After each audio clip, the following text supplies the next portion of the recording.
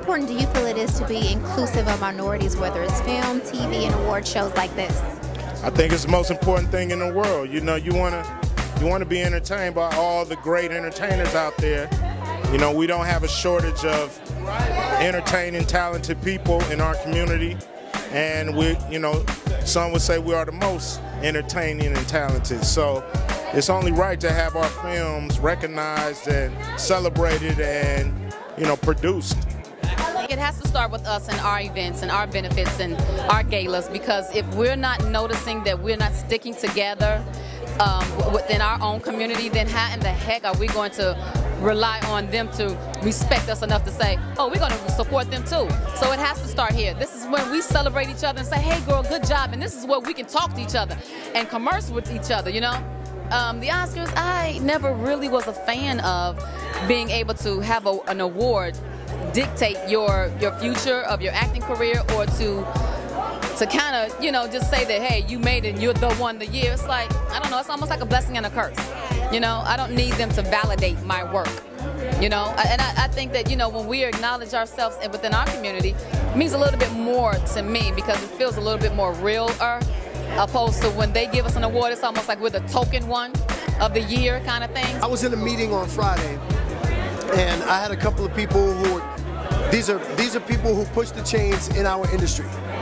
And they literally said to a friend of mine who had gotten these people assembled for me, and they said, Where has he been?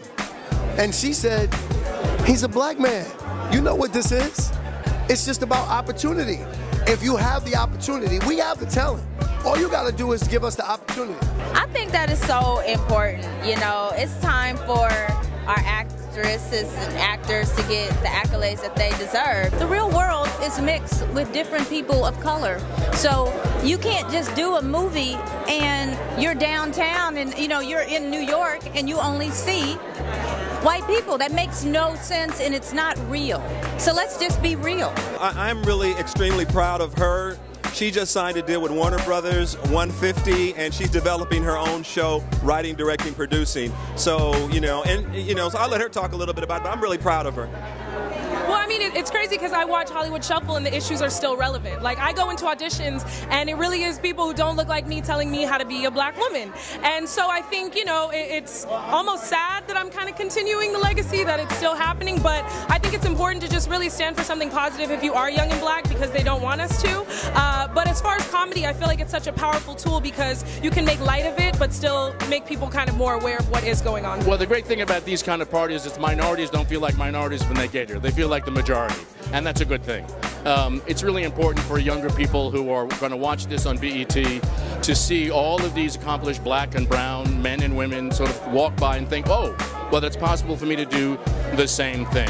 Yeah, I think every, you know, I, I wish every award show was inclusive. I think it's really important to feel um, treasured and valued. Uh, people do this. People work very, very hard, and so they deserve recognition when they deserve it. You can't, you can't give any kind of entertainment without people of color. So if they don't find out sooner or later, we should just all walk out. You know, I think that's the only way you really boycott. I don't know how you boycott a party you're not invited to. So if you really want to make some things change, we all could just walk right out and see where they go from there. It's everything. I mean, I think one, we all, we have to honor ourselves, celebrate ourselves, and it's also important to honor ourselves in a way that other people are not validating. Tell my agent I'm sorry, but that's what I feel.